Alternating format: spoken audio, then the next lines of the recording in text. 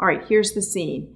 The pizza guy is about to come, but mm, you forgot to go to the ATM. You don't have any cash. And then you think, aha, the kids are doing their allowance. They have their allowance jars. There's cash in them. But I'm going to sneak up there and grab the cash from the kids' jars and pay the pizza guy.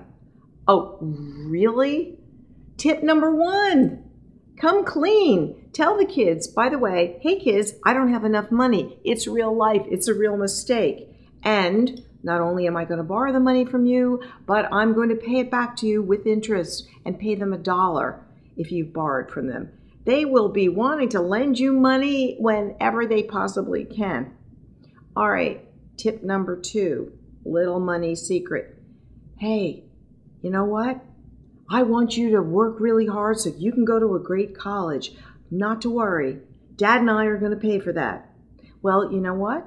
I know it. I feel your pain. Along the way, all these other things creep in.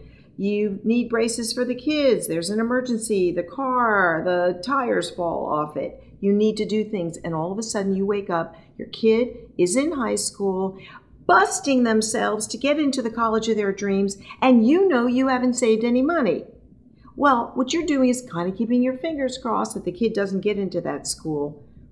Come on.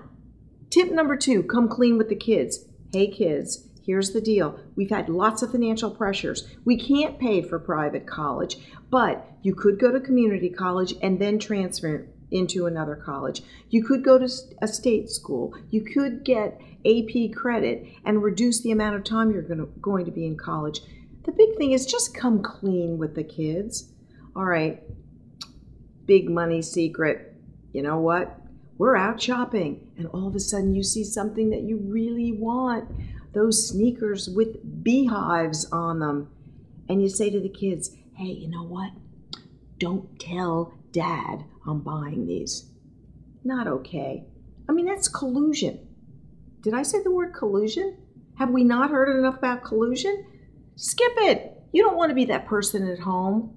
The whole point is make sure you're coming clean with yourself and with your kids. Just be honest. This is real life. You can do it. I know you want to know more, so make sure you check us out at nealegodfrey.com.